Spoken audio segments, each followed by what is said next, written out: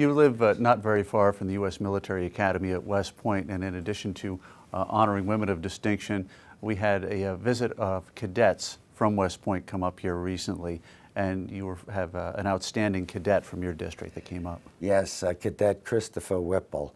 Uh, he was from Sullivan County, uh, the Neversink area. West Point, we have West Point Day, and it's a day I'm very proud of. I happen to have visited all three of the military uh, uh, institutions in Colorado, in Maryland, and here in Orange County. I have to say, I'm prejudiced, but Orange County, the West Point facility, is um, the most beautiful. And uh, we really tip our hats uh, to the men and women in all three institutions. Uh, but uh, this is a day where we have the major speak. The superintendent comes up, he addresses uh, the chamber. Uh, I think they came up with close to 15 cadets. We have breakfast with them. Uh, and these, you have to understand, are young and men and women who might be in a uh, final year, and they may be in Middle East or Afghanistan, um, you know, in the front lines, uh, protecting our freedoms.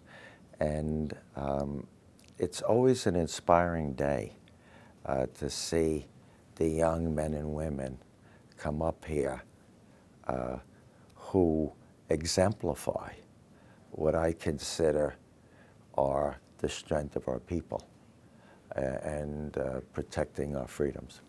You got up on the Senate floor to talk about Cadet Whipple. Let's take a look at your remarks.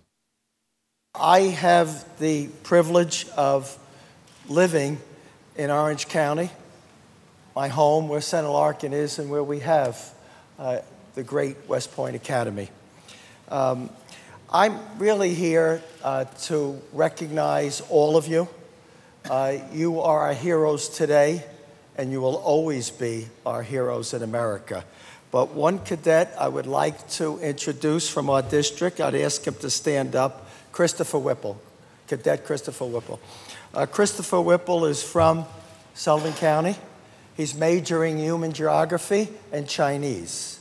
And uh, I, I want to thank you all for the great courage and your willingness to sacrifice everything uh, to protect our country and our freedoms. I always said that the strength of America is our people, and you are the best of the best of the American people.